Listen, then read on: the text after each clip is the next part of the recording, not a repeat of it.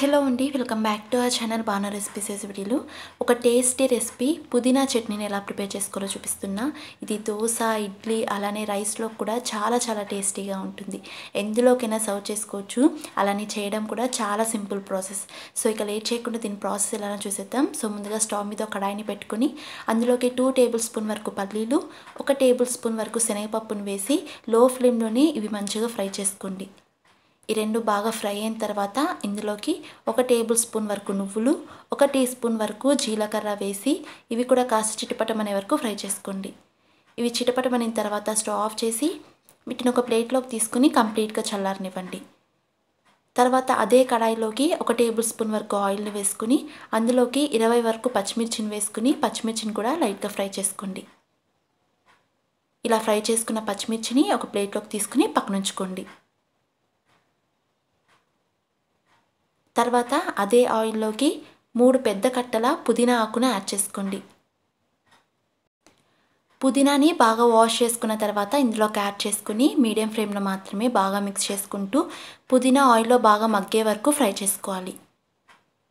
ఇక్కడ పచ్చివాసన అనేది లేకుండా ఆయిల్లో బాగా మగ్గాలి. ఒక ఫైవ్ సిక్స్ మినిట్స్కి వీడియో చూపిస్తున్నట్టు ఇలా పుదీనా ఆకు అంతా బాగా ఆయిల్లో మగ్గుతుంది. ఇప్పుడు స్టవ్ ఆఫ్ చేసి దీన్ని కూడా కంప్లీట్గా చల్లారనివ్వండి. ఇవన్నీ కంప్లీట్గా చల్లారిన తర్వాత ఒక మిక్సీ జార్లోకి మనం ఆల్రెడీ ఫ్రై చేసి పెట్టుకున్న పప్పులు అలానే పచ్చిమిర్చిని యాడ్ చేసుకుని మిక్సీకి ఫైన్గా బ్లెండ్ చేసుకోండి. ఇవన్నీ మిక్సీకి ఫైన్గా బ్లెండ్ చేసుకున్న తర్వాత ఇందులోకి పెద్ద నిమ్మ సైజ్ అంత చింతపండుని ఒక పదహైదు నిమిషాల పాటు నానబెట్టుకుని ఇందులోకి యాడ్ చేసుకోండి.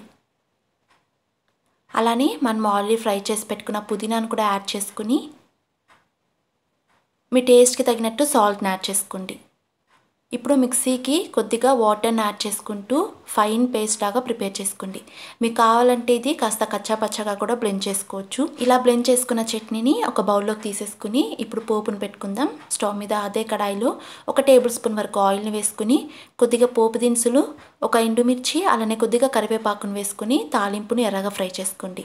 ఇలా పోపు ఎర్రగా ఫ్రై అయిన తర్వాత స్టవ్ ఆఫ్ చేసి చట్నీలో వేసి అంతా కలిసేలా మిక్స్ చేసుకుంటే మనకు పుదీనా చట్నీ అనేది రెడీ అయిపోతుంది. ఇది ఇడ్లీ దోశ రైస్ ఇలా ఎందులోకైనా సర్వ్ చేసుకోండి. ఎందులోకైనా చాలా చాలా టేస్టీగా ఉంటుంది. మీరు కూడా ఒకసారి ఈ మెథడ్లో పుదీనా చట్నీని ట్రై చేయండి. అలానే వీడియో నచ్చితే వీడియోని లైక్ చేసి మరిన్ని టేస్టీ అండ్ హెల్తీ రెసిపీస్ కోసం మన ఛానల్ని సబ్స్క్రైబ్ చేసుకుని పక్కనే ఉన్న బెల్ ఐకాన్ కూడా ఇచ్చేయండి సో నేను పోస్ట్ చేసే ప్రతి వీడియోకి మీ నోటిఫికేషన్ వస్తుంది. And thanks for watching